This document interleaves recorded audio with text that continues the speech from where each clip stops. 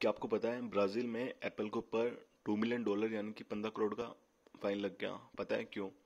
क्योंकि जो एप्पल है, वो आईफोन 12 में अडेप्टर नहीं देता है चार्जिंग के लिए, जिसकी वजह से लोग काफ़ी परेशान होती है। इसी के चलते जो वहाँ की गवर्नमेंट है, उसने एप्पल के ऊपर पंद्रह करोड़ यानी कि टू मिलियन का फाइन ठोक दिया।